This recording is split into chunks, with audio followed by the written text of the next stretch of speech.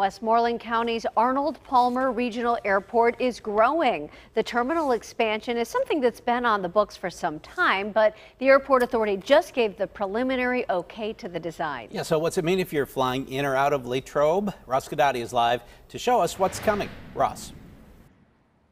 Yeah, Executive Director of the Airport Authority, Gabe Monzo, says the newly approved preliminary designs essentially are aimed to attract more carriers and accommodate their customers.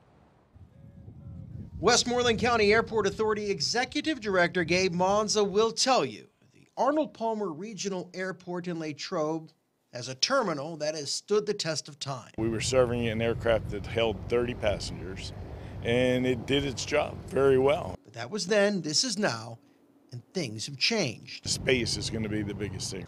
To change that, the airport authority just okayed preliminary plans to double the size of the present terminal, starting with There'll be two screening lines. We have a request right now from TSA for a second screening line.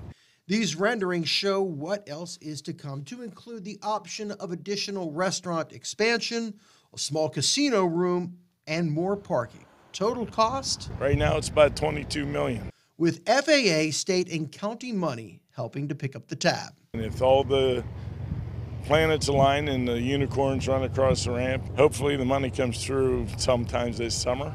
The bid process will start in spring of 23. We'll start, start seeing brick and mortar in the fall of 23.